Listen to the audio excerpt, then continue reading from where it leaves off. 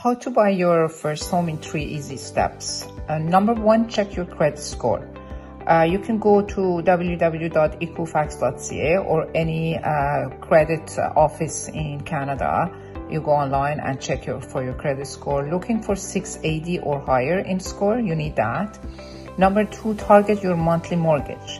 Uh, jot down your monthly gross income. That's the number before any taxes.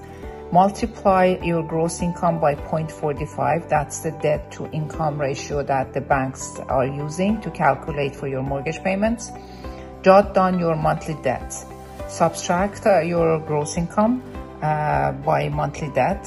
For example, if your uh, monthly uh, in gross income is $5,000, uh, you multiply that by 45, so it's going to give you 2250 and your monthly debt is $600 so subtract that one by your monthly debt 2250 minus 600 it's going to just give you 1650 which is your uh, the monthly mortgage payment you can afford to pay.